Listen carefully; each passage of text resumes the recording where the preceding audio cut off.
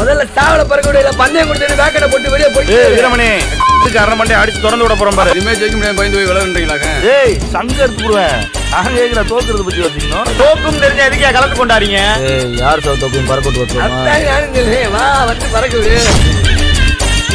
இப்போ செஞ்சுவாரு இதுக்கே அப்செட் ஆனா இப்படி? இப்பதானே டைட்ல போட்டிருக்கோம்.